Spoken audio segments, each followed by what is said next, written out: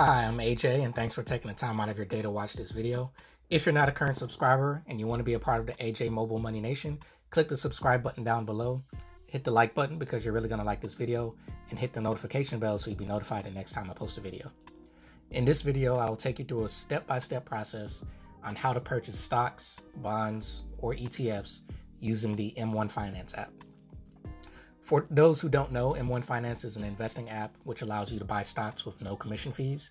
You can buy groups of stocks all at once within what is called a pie, and you can also buy fractional or partial shares of the investments you choose. If you're not familiar with fractional share investing, I have a video explaining this concept, including a list of all the platforms you can use to buy fractional shares. Okay, let's get started. In this video, I'm using the Android version of M1 Finance's app, so there may be a slight difference on iOS devices, Apple iPhones. After you've created your account, you've made your initial deposit, and you have the app installed, you can start by opening the app on your phone, enter your password, then click on the research tab at the bottom right. Um, from what you can see here, I already have a portfolio created, but I'm going to show you how to create one in this video. So once you click on the research tab, from there you can click on the menu at the top left, and then you can select My Pies. Then you can click the plus sign at the top right, and then the plus sign in the middle to start building your pie. Now, a pie is just M1 Finance's way of saying you're creating a group of stocks, which can include individual stocks, bonds, ETFs, or funds created directly by M1 Finance. On this page, you'll see several options to start creating your pie. You have the stocks, funds, expert pies, watch list, and my pie section all at the top. On the stocks tab, you will see a list of the top 30 stocks in order based on their market cap, which stands for market capitalization, which is just the total value of the company based on the share price times the number of available shares in the company. From here, you can either select from the list or use the search bar to search for a company you're interested in investing. Let's start with a company that's been in the news a lot lately Beyond Meat.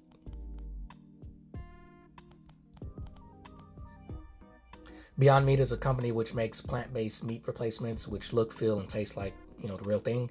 You can search by typing in the company name or the ticker symbol if you already know it. So the ticker symbol for Beyond Meat is BYND.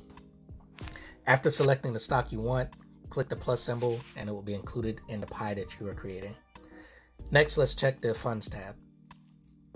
From here, you can search the fund you want by ticker name or the actual name of the fund, just like you can with the stocks.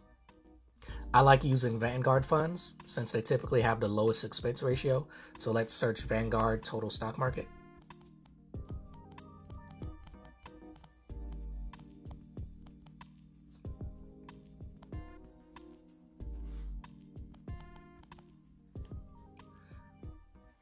We're going to select that as well as the total bond market. Now, these two ETFs hold all publicly available stocks and bonds in the United States. These are also two of the four funds included in the AJ Mobile Money Sample Roth IRA. The other two are the Total International Stock Market and the S&P 500 ETF. I post an update of this portfolio's performance once per month on my Instagram page if you want to keep track, as well as so you can see how fast just $50 a month can grow. Follow me on Instagram as I make those updates once a month. I started with $500 in a traditional IRA back in January, and I add $50 a month to this pie starting in February. In April, I switched from a traditional IRA to a Roth IRA, and I can talk about why I did that in a future video. And the purchases of the stocks within the M1 Finance are set to automatically buy my selected pie without me needing to sign into the app every month to make my stock purchases. So you can automate this deposit monthly, weekly, bi weekly, or you can p- pick a particular week within the month or a day of the week, like the first, the second, third, or fourth week of the month. So now that we've selected those bond funds, let's take a look at the Expert Pie tab as well. Now, Expert Pies, these are created by M1 Finance. Um, they have different themes. So, like this one is general investing. If you wanted to pick a very conservative fund or pie or very aggressive, you can select it by hitting the plus sign, or you can look at them to see what they're all about. So, we're going to look at the ultra conservative fund. And this has six holdings. It shows you the expense ratio of the, this specific fund. It shows you the dividend yield of 2.08% currently, and that's per year. So throughout the year, usually quarterly, this fund will pay you a dividend for holding that fund throughout the year. And you can see past performance. You can see that the one year return is 3%. The three year return annualized, so the average over three years is 2% every year, and the average over five years has been 2%. Now, because this is an ultra conservative fund, you won't get as high of a return. And as you can see, it holds a lot of different bonds. It has the one to three year treasury bond, and usually bonds perform don't perform as well as individual stocks or funds that actually hold stocks. So that's the ultra conservative fund, and then you have the ultra aggressive. As you can see, the return for this is a little bit higher. For the past year, it's only 1.85%. For over three years, it has an annualized average return of 10%. So that's actually a 30% total gain within the past three years and an average of 7% gain over five years. So that's a 35% gain. And you can see the details of this as well. You can see what funds this specific expert pie holds, and it has a lot of developed, uh, has the Vanguard FTSE developed markets. So these are markets outside of the U.S. The S&P 500, which is top 500 companies within the US, and then it has small cap, mid cap, and other emerging funds as well as a real estate investment trust. So if we go back to watch list, if you select any stocks that you want to watch, I have four selected here uh, just to show as an example. You can look at your list here and then you can add from there as well. And then you can also add a pie to be included within one pie. So this is an example that I created earlier today. It has 10 holdings. The expense ratio is 0.06%, and the dividend yield is 1.92%. And you can see the, the holdings within this. I have the conservative fund. I have a couple of individual stocks like Apple, Microsoft, um, another fund, moderate conservative. And then all of these together, that's what gives you that average of a 1.92% dividend. It doesn't mean that every stock is paying a dividend, but the average for the holdings, the total holdings that you have, is what gives you that dividend. And so we'll go back to the stocks page and we'll finish creating this example pie with, we're just going to choose the top 10 stocks in this list, which are based on the market cap. Again, that's the total value of the company. So we're just going to click a plus sign for all of these until we get to 10. And then we're going to click done. And now it'll show the 10 different stocks that we have included, which are Microsoft, Apple, Amazon, Google. We have Google twice because they have two separate ticker symbols. Facebook, Berkshire Hathaway, Alibaba, Visa, JP Morgan. And just so we don't have the same thing, we're going to take out this one and then we're going to go back and we're going to add another stock. So we're to start over. We're to skip over one of the Googles, go with Facebook, and then we'll add Johnson and Johnson, and now we have 10. And so you see we have 10 there, and you can change the allocation of each individual stock if you want, or you can have it where any money that you put in, it will automatically put 10% of it into each of these companies. Or rather, it will try to put the allocation back to 10%. So let's say, you know, this month, for whatever reason, Microsoft had a great month and now the allocation of Microsoft is at 15% just based off of its gains. And let's say Johnson and Johnson loses 5%. Or let's say they only lose they gain 6%, whatever the case may be. What M1 Finance will do is try to bring the allocation back to whatever you set for the initial allocation. So it's going to try to bring it back to 10% and bring this back down to 10%. So it's not going to sell anything, but whenever you deposit money the next time, it's not going to add more money to Microsoft. It's going to add more money to Johnson Johnson, and then whatever additional funds that you have left over, it will be evenly spread out so that the total allocation for all of your stocks is still at 10%. So we'll go ahead and save that. And now you'll have a description you can create. We'll just say top 10 market cap. and you can name it whatever you want.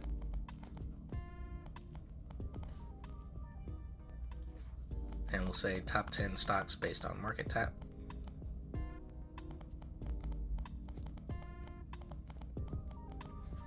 And then we can save that. And now this will be in your list of pies, and you can always get to that from the research tab. So usually when you open the app, you'll start on the invest tab, and it'll show you any pie that you've already created for your account. Um, if you hit the menu button at the top left when you're on the invest tab, it will show you all of the accounts that you have open with M1 Finance. And you can also check your portfolio, which is the page that it will normally take you to. You can check the activity. So any purchases, any deposits that you have made. As you can see, because I switched from a traditional IRA to a Roth IRA back in April, the first deposit for this Roth IRA actually started in May because I do it on the first of every month. And then you can also see any dividends that were paid. Uh, here's 16 cents dividend from the Vanguard Total Bond Market. And then in June had another $50 deposit, and you can see the individual buys to try to get the portfolio back to the allocation that you selected based on the percentages you selected. And throughout the time, you can see that dividends were paid by the Vanguard Total Bond Market, Vanguard Total Stock Market, uh, Vanguard Total International Stock Market, and the Vanguard S&P 500 fund. And so you can see that activity there. You can see your individual holdings, how much they have gained over the time that you've held this specific portfolio. You can also see the funding history. So if you have an IRA you can use this for tax purposes. So you'll see that, you know, I've made $300 deposit into the Roth IRA and you'll need to report that to the IRS when you do your taxes. And you can see your bank connection, the bank that you use to connect with M1 Finance.